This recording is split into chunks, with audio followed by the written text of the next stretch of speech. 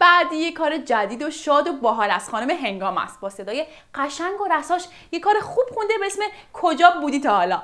هنگامه برزین متولد 1140 در لاهیجانه. اما وقتی فقط سه سالش بود به تهران اومدن.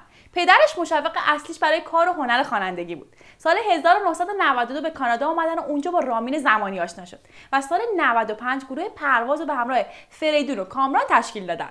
گروه زود منحل شد اما هر ستاشون الان از موفقای این عرصن هنگام اولین آلبومش سال 2004 به اسم برای دیدن تو منتشر کرد. همکاری خیلی خوب و موفقی با رامین زمانی داره. این ویدیو جدیدی هم که هفته پیش منتشر شد رامین زمانی کارشو کرده.